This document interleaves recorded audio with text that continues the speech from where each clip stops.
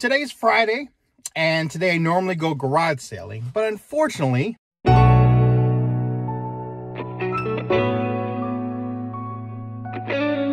everybody, it's your boy Ronnie Bizzle coming to you with another video from Casa de Bizzle. Um, today's Friday, and today I normally go garage sailing, but unfortunately, there wasn't any garage sales within my area. So I decided to do something a little different today. We're going to head to a couple of thrift stores, two to be exact. Uh, Deseret Industries and the Salvation Army and maybe another thrift store if I have enough time. So hopefully at these uh, thrift stores, I can be able to find some deals and um, try to find some stuff that has some value that I can either resell on eBay or keep for myself. So let's head out. And uh, instead of going garage selling, let's do a little thrifting. All right, guys, as you can see, this is one of the reasons why there are no garage sales today because it's raining here in Vegas. But that's not going to stop your boy Ronnie Bizzle from trying to find some deals. We're over here at Deseret Industries. Uh, one, this is probably my favorite thrift stores. Although lately the thrift store hasn't been really good because they've actually raised some of the prices. So I'm a, little, I'm a, I'm a little more picky about getting stuff in here. But there's always some great stuff in here. So let's go inside so we can find some deals. All right, right off the bat, I found this uh, really cool New Tags Buffalo Sabres uh, hoodie. Um, this thrift store is a little notorious for overpricing their uh, sports jerseys. I know they had um, a couple jerseys that were on sale for like $50. I wish I would have showed you what they uh, look like, but they had it for $50. So I normally stay away from the jerseys, but sometimes you come across new stuff like this one, the, the Buffalo Sabres NHL team, and I picked this up for $12. So the next thing I found is another sports memorabilia jersey. This is a uh, Philadelphia 76ers Majestic Hardwood Classic. I think it's like a, a uh, warm-up pullover jersey. Um, I was very, very surprised it was $8. And I actually looked it over because generally speaking, when jerseys and sports stuff is low priced low like this, um, I like to look it over, make sure there's no flaws. And I did a really good inspection on it and saw there wasn't any flaws on this. So I picked this up for $8. And this should, because of the team, which is our Philadelphia 76ers, which is a very popular NBA team, it, I think, and, and of course, with the size, I think can go for 40 to $60. All right, here's an example of a brand that even if it's new at tags, um, it's not a good um, brand to pick up. This is a Marc Anthony like a um, like a Henley um, long sleeve sweater. Um, Marc Anthony is a brand that's usually sold in like Kohl's, and in my experiences reselling clothing, anything that usually sells at Kohl's usually doesn't really have much resale value because it's very much mass produced. So even though this was a five bucks and it was brand new tags, and I just think, and, and looking over the comms, I just did not think this was worth the time and the effort to spend five bucks or something that probably sell for like 15 bucks brand new. So I uh, skipped this and passed. So I came across this uh, Tundra sweater. Um, this is not the Tundra sweater that's really popular. That's really has a um, ton of value. Um, the one, the sweater you want to look for in this brand is the old 90s Biggie Smalls Cosby sweater, they call it. It's like this really like 3D um, visual, really bright colors, really sharp design. Um, those are the ones you got to look for. Those go for like a hundred bucks. Um, this jersey, this um, sweater, um, as it stands, it's probably only worth like 30 bucks. But I paid five bucks for this. And um, if I write the keywords correctly for this sweater, this should go for pretty decent money. Came across this Armani Exchange black pullover with the uh, faw uh, leather sleeves. This is really, really nice. It actually has the uh, spell out in the back of this uh, pullover. And for $8, once again, with a pretty known brand, very popular brand, I um, was a little skeptical. So I did a quick uh, look at the item itself, looking for flaws no flaws at all. So I was very, very surprised this was only going for $8. Um, right now, Armani Exchange is a little hit or miss. Some stuff can go for really big money, some don't.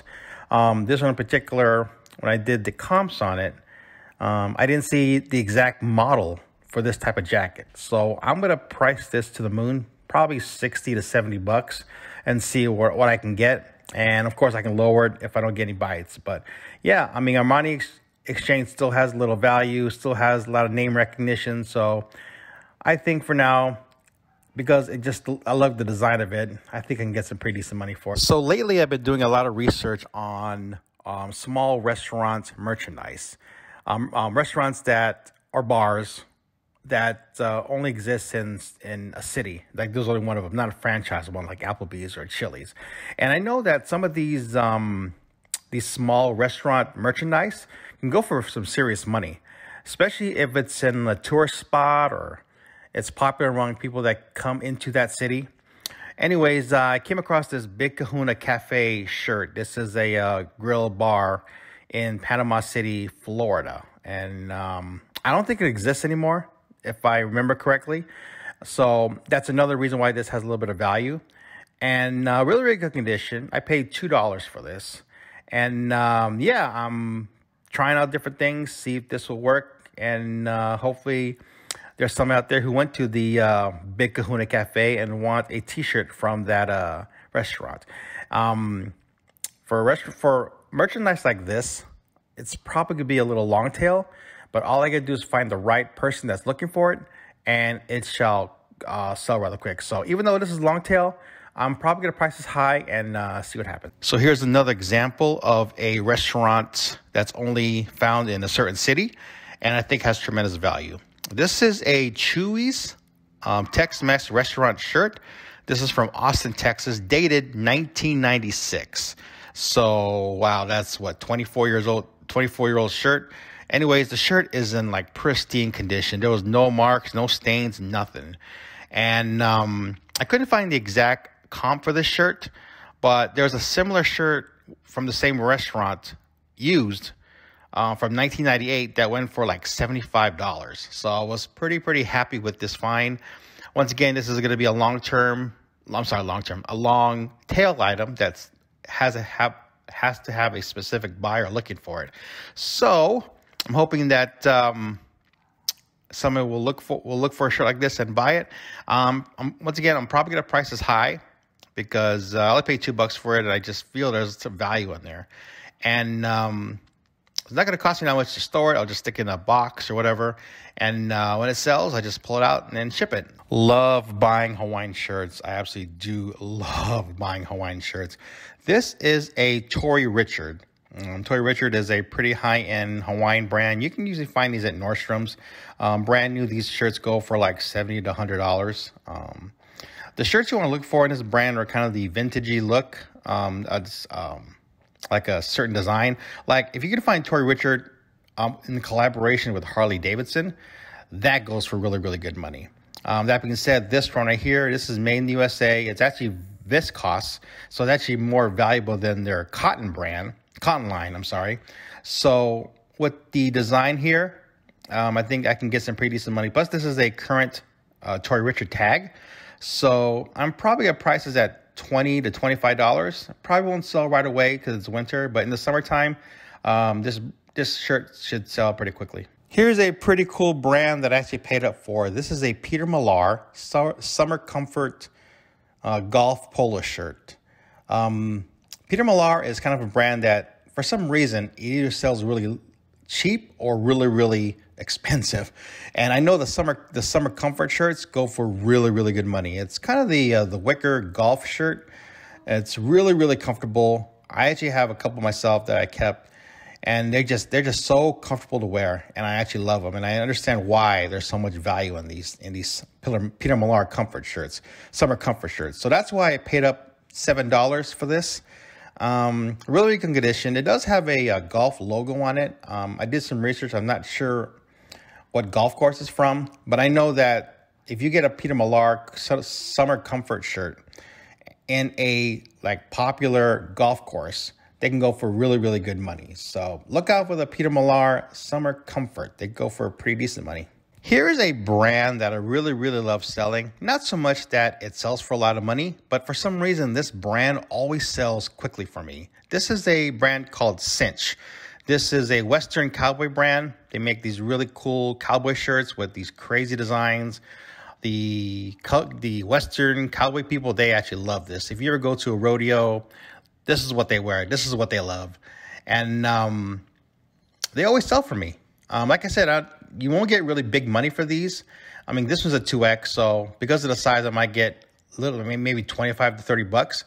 But, you know, they will sell quick. And so I paid five bucks for this, knowing the fact that because it's in very, very good condition uh, and with a really cool design, that this will sell rather quick. So, so look for this brand, um, Cinch. Okay, guys, probably my best find from this thrift store is this thing where I did not know anything about it when I first saw it. This is a Kodo. This is a simple music player for dementia um, patients. Uh, what happens is you uh, download music into this um, this device, and the person with the dementia pushes this button on top of the item, and it plays the music that you download.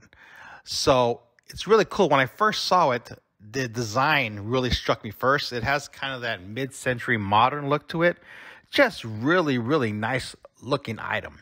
So I picked it up and went, went on my phone, did some research, and I saw that this these type of devices can go for over $100. Um, this one in particular, the Kodo, goes for around $130 brand new. I didn't test it out when I was there, which I probably should have, but I figured for eight bucks is really worth the risk. And I came home and um, hooked it up, and it worked. So really, really happy with that. Um, there's a couple of scratches on it, which shouldn't be an issue. Um, as long as the device works, I think uh, it'll sell well. So very, very, very, very happy with what I got. So it just shows you that even if you don't have any knowledge a, on a particular item, you can do the research right there at the thrift store. Try to find what is what what it's worth, what it is, what the item is, and then pick it up if you think um, there's value in it. So really, really happy with this pickup. Really, really cool. So I knew about this uh, football helmet brand, Schutt, and I know that some of these go for really, really good money. A um, little bit of a rough shape as far as like there's a lot of um, scratches and marks on it, but I still picked it up because there's no cracks in it. So all you really got to do is kind of clean this up and it'll look well. Um, the symbol on here, which HC, and I had no clue what it was. I thought it was Holy Cross University, but the emblem on this helmet did not match the logo on the website. So I know it's not Holy Cross. So it's probably some high school team or maybe a, a small college team. But I still picked it up because it was only eight dollars. And uh, so I'm still good. I haven't put this up on eBay yet. Um, I got to do some research to find what this HC is. So if anybody out there knows what this HC symbol stands for, please leave a comment below.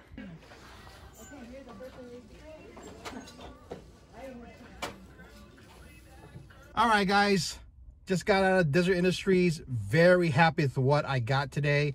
I spent $76.50 for everything in there. Got some really, really cool pieces. I think that radio, that cool mid-century modern looking radio is probably gonna be the score. Um, the comps are going for like 70 to $100. I didn't test it, but uh, I think even if it doesn't work, uh, I should get like 40, 50 bucks. So either way, I'm very, very happy. And of course, the other stuff that I pick up, the Armani jacket, the Buffalo Sabres hoodie, and the other clothing that will um, go into my eBay store. A lot of value in there, a lot of good stuff in there. And um, I'm very happy with uh, Des Industries. For some reason, this, cause this, uh, there it goes. That thrift store always comes through for me. so anyways, let's head out to the next um, thrift store, which will be Salvation Army. All right, guys, made to the next thrift store. We are here, uh, the Salvation Army Family Store. This place is uh, kind of hit or miss, so we'll see what they have. Um, and uh, trying to find some deals, right? Let's go, find some deals.